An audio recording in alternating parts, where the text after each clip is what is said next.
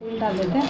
आज हम बनाएँगे बड़ा फ्राई। ओके, हम छोटा छोटा पीस में काट के सेम प्रोसेस में आलू भी कट किए आप इसी तरह से कट करके इसको बनाइएगा। नमक डाल देंगे। चलिए देखो देखिए ढक ढक के इसको बीच बीच में चलाते रहेंगे ताकि ये अच्छा से सॉफ्ट जाए। ये देखिए, फ्राई हो चुका है। आलू भी काफ़ी हद तक सॉफ्ट हो चुका है तो इसको निकाल देते हैं और फिर आगे की कोशिश करते हैं। निकाल दिया आलू और थोड़ा सेम कढ़ाई में हम तेल डाल देते हैं। इसको एक टमाटर हम लंबा लंबा चौक हैं डाल देते हैं। कहीं डालेंगे, इसका फ्लेवर बहुत अच्छा लगता है। मिक्स कर देते हैं। दोस्तों, करी लिस्ट डाल देते हैं थोड़ा सा। देखिए, प्याज और टमाटर थोड़ा सॉफ्ट हो चुका है। इसमें हम बड़ा ऐड कर देते हैं।